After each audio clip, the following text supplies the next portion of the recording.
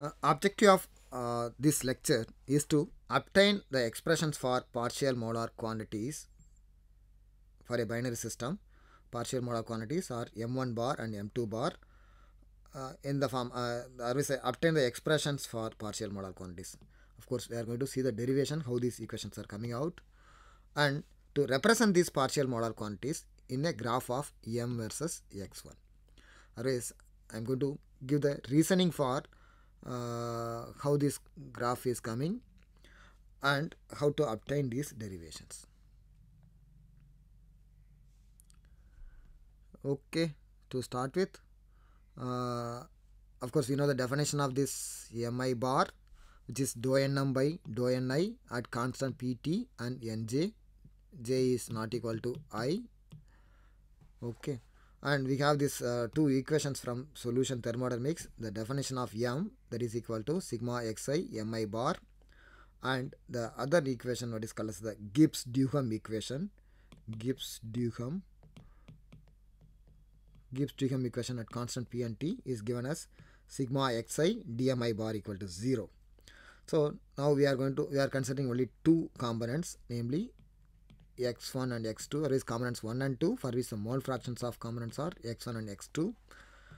So we are writing this uh, for the binary system there is m equal to x1 m1 bar plus x2 m2 bar and the final expressions are going to have either m m d or its slope otherwise we will be having m dm by dx1 or some composition terms otherwise we want to have these expressions in terms of these variables. So that's why we take a derivative of this m which is dm. So we have two variables x1 and m1 bar. So always differential of uv u dv plus v du like that. For the for the other term that is x2 m2 bar we have this. Now already we have this Gibbs Duhem equation which is equation 1 uh, if you can write this for a binary system which is x1 dm1 bar plus x2 dm2 bar equal to 0 so using that we could uh, always simply add these two terms and which is equal to 0 so thereby we have this uh, expression for dm which is having uh, this d or is uh, dm equal to m1 bar dx1 plus m2 bar dx2 so always we have this expression in terms of uh, both dx1 and dx2 uh, we want it is it will be convenient if we have the equation in, in terms of only x1 or its derivatives. So we know the relation x1 plus x2 equal to 1 for a binary system and from which we have this dx2 equal to minus dx1 so using this so what we are going to get we have this expression for dm in terms of uh, dx1 alone. So otherwise rearranging dm by dx1 equal to coming as the difference of m1 bar and m2 bar. Okay otherwise we have one nice equation to use. And again we are going back to the definition of this m for a binary system and uh, since this is having these two variables x1 and x2 uh, again we are going to uh, remove this variable x2 otherwise we, we are going to write this variable x2 in terms of x1 by doing so. We are having these two expressions for m. One is involving this this one is having this m2 bar in an explicit way likewise uh, another one m1 bar. And the difference of this m1 and m2 bar so these two equations we have or is one is available in terms of x1 another is available in terms of x2 so uh, what we are going to do this already we have the expression for m1 bar and m2 bar. So uh, using that here in uh, the equation 4 we are obtaining these expressions for m2 bar and m1 bar simply in terms of uh, m and its derivative dm by dx1 and composition variables okay now we have the equations comfortably available but uh, to in obtaining these equations we have uh, made some uh, page length of derivation Uh, so we cannot derive these equations quite often. Instead, how to obtain the equation in a simple way. For that, uh, we can make use of this graphical representation of the equations. So, so the graphical representation I am going to make uh, how, how uh, this graph would be convenient to obtain these equations very easily. Mm -hmm. So, uh, from the graph, of course, we are now uh, making the graph of m versus x1. So, m versus x1 is this red color uh, line and uh, at a composition x1 the molar property of the solution is m. So at this point at this composition we are making a tangent to the curve. The tangent which is nothing but the slope of the curve of uh, m versus x1 at a point of x1 otherwise we are making a tangent at this point. The intercept of, intercept of the tangents at the x1 equal to 1 and uh, x2 equal to 1 are given as i1 and i2 so how do we say this is x2 equal to 1 because uh, this is x1 equal to 0 which is also equal to x2 equal to 1 so otherwise the intercepts i1 corresponds to the uh, intercept of the tangent at x1 equal to 1 likewise i2 corresponds to intercept corresponding to x2 equal to 1 now mm, so we have these expressions dm by dx1 otherwise uh, you can uh, write otherwise this dm by dx1 is, which is nothing but the this line no? Otherwise the slope of this uh, otherwise the deri otherwise this this uh, line represents the tangent. The slope of the tangent is dm by dx1 so the slope of the tangent you can obtain from this value of i1 and from x1 are also from m. So this i1 minus m, what is it giving? No? i1 minus m, this is much this much value. That is, if you extend this, i1 minus m is this one. It is the delta y, and this portion is nothing but the x2. Hmm? Delta y by delta x. Or is dm by dx1 is nothing but delta y by delta x. Delta y is i1 minus m so always this quantity. And delta x is this x2 why do we say this x2 because this is x1 and this is x2 okay now this is done. Likewise we can also write this uh, okay uh, what is it? We can also write this uh, write the equation for the slope which is again dm by uh, dx1 this now uh, at this time we are writing this in terms of these two quantities. So what is it? Uh, delta uh, is uh, dm by dx1 which is nothing but the delta y by delta x. So delta y is here m minus i2 so delta y is m minus i2 and delta x is x1 okay so delta y by delta x is simply that is dm by dx1 is also equal to m minus i2 that is this is this quantity m minus i2 and uh, this is delta y and uh, divide by delta x is simply this quantity. So these two expressions are up, coming from this uh, graph which is simply the plot of m versus x1 at a composition of x1 we made a tangent. And the slope from the slope of the tangent we have these two expressions okay? Now we want to just match these expressions with the already available expressions. So, so that's the task now for that, we are rearranging this each of these equations. So from the first equation, we have this I1 in terms of m and its derivative. Uh, of course, this equation, whatever we have, is nothing but the equation already we obtained for m1 bar. Otherwise, what we get, this I1 is also nothing but m1 bar. Otherwise, simply this uh, I1 is nothing but m1 bar is what we say the intercept of the uh, curve at x1 equal to 1 so that is the intercept of the tangent. Hmm?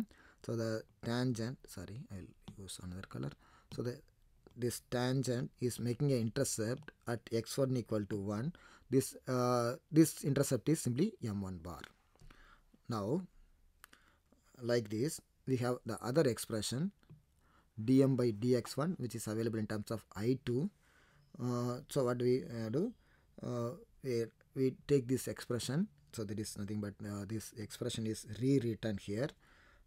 So this uh, m minus i2 is equal to coming this way. And uh, I can we can write this i2 which is equal to m minus x1 into this, this i2 equal to m minus x1 into dx1 uh, dm by dx1 already we have the expression for m2 bar which is also having the same right hand side term which is m minus x1 into dm by dx1 so otherwise what we uh, conclude this i2 is nothing but m2 bar. Otherwise uh, this i2 is nothing but this i2 is nothing but m2 bar. Okay otherwise so what do we conclude? Uh, uh, from simply make a plot of make a plot of m versus x1 and at whatever the composition you are interested in getting the uh, partial molar quantities hmm, you can simply make a tangent at that point. The the tangent the intercept of the tangents at x1 equal to 1 gives m1 bar and likewise at x2 equal to 1 will give you m2 bar the same diagram is uh, reproduced here. So here what we have the m versus x1 is available. We have this uh, white color curve representing this variation of m versus x1 at the composition of x1 we are interested in getting the partial molar quantities m1 bar and m2 bar. Simply make a tangent at that point the intercept of these tangents at uh, x1 equal to 1 and x2 equal to 1 are giving m1 bar and m2 bar. This m1 bar this m1 bar no, is simply nothing but m uh, this m value or is this point value plus this value. So to get this value this is nothing but uh, to get this value of course we know the this uh, uh, slope of this uh, tangent which is dm by dx1 whereas dm by dx1 is giving service slope of this tangent is dm by dx1 dm by dx1 is nothing but delta y by delta x. So delta y by delta x we need to get this delta y alone. So delta y by delta x multiplied by delta x. So this is uh, dm by dx1 is nothing but delta y by delta x multiplied by x. So this is the x. So this quantity plus uh, uh, this m m plus delta y by delta x into delta x if you have that. So what is this delta y by delta x into delta x? Otherwise this is delta y by delta x into delta x. So this will give you this quantity. So otherwise m uh, plus this quantity is nothing but your m1 bar likewise for the component uh, risk 2 there is m we want to get this expression for m2 bar. M2 bar is simply uh, m value uh, m value. This or is this value is lesser than m no? So is to get this uh, we need to subtract this amount. From m if we can subtract this amount uh, we'll be getting m2 bar. So otherwise this is how to get this subtraction. We know this delta y by delta x is available. Delta y by delta x is nothing but dm by dx1 to which uh, multiply with delta x. So delta x here is simply x1 so delta y by delta x multiplied by delta x you will be getting delta y. So otherwise we need to simply subtract this quantity delta y. Again okay to summarize everything. So we have the expression of m versus x1 hmm? We want to get m1 bar and m2 bar. How to get? Of course you can make use of these expressions uh, are available. Given the thing is m versus x1 x2 using that you can get m. And you can also take the slope of this curve or take a derivative of this expression. You'll be getting dm by dx1 so or is using simply the m and dm by dx1 we'll be getting m1 bar and m2 bar. Of course the expressions are uh, this is m1 bar equal to m plus okay this equation is already given. So this equation you can easily obtain from the graph. What is it? This m1 bar is nothing but this m value plus this uh, delta y value. To obtain this delta y we have this delta y by delta x multiplied by delta x. So this is delta y by delta x which is nothing but the slope of this uh, tangent multiplied by delta x. Delta x is now corresponding to this portion alone because already we know this m to which we need to add only this content. Likewise for the component uh, 2 there is m2 bar uh, m2 bar is m minus this delta y portions. So m minus delta y portion how do you get? Uh, this again delta y by delta x is available which is nothing but dm by dx1 multiply by this x1 this delta y by delta x multiply by this x1 will be getting this portion. So always obtaining this expression is easier if you can have a picture of this uh, what is it uh, this graph in your memory. So always this uh, thing is also easy to understand because you have a graph like this you may have a curve like this and make a uh, tangent at that uh, at any composition corresponding to this composition the m1 bar and m2 bar are simply the um, intercept value at x1 equal to 1 and x2 equal to 1 say again this m1 bar is simply m value plus this value. To obtain this value simply dy by dx is available erase from this thing. dy by dx multiplied by this x will be giving this value.